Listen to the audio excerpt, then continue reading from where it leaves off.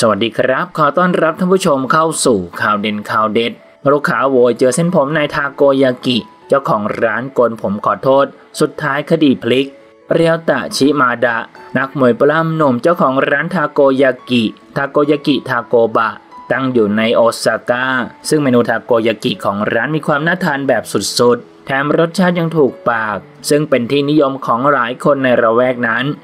วันหนึ่งชิมาดะได้รับข้อความร้องเรียนจากลูกค้าว่า พบเส้นผมในทาโกยากิที่ซื้อไป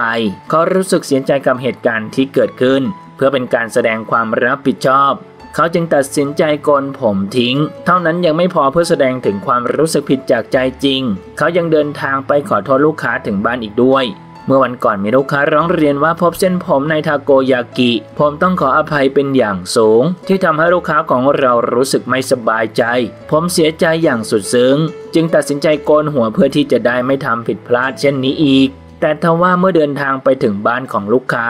เขากลับพบความจริงสุดช็อก ทาโกยากิกล่องที่พบเส้นผม มันไม่ได้มาจากร้านของเขาแต่ดันเป็นของร้านอื่นซะงั้นทำเอาเหวอกันไปทั้งแถบ จากเดิมเขาต้องเป็นฝ่ายขอโทษ กลายเป็นลูกค้าต้องเป็นฝ่ายขอโทษแทน หลังเรื่องราวถูกเผยแพร่ออกไป